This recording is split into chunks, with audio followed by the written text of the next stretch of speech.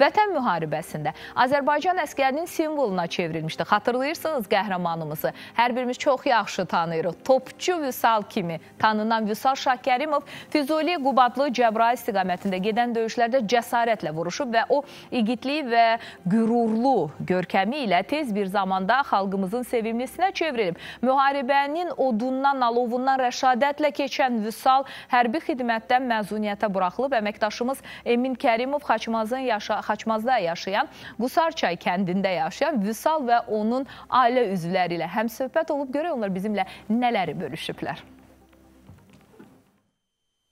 Çəkişə yəni orada fikir vermirdi. Orada yəni qəzəb hissi, yəni özün yəni doğrultuda yəni orada necə?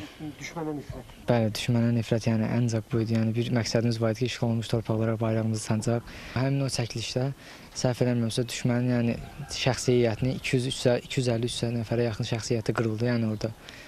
Yəni bunun yəni bizim müşahidə məntəqəsinə yəni de, yəni dedilər oradan əlaqə ilə çıxıb dedilər ki, yəni həmin atışlarda 250-300 nəfər yəni qırıldı.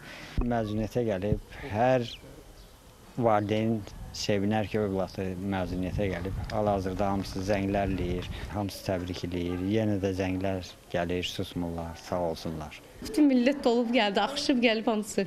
Valla her yerden ne necə diyeyim size. Böyükden balacaya tanıyan tanımayan. Magazine yaparım ki gel gidelim bizimle geze geze gidelim. Milleti koymuşum burada ki.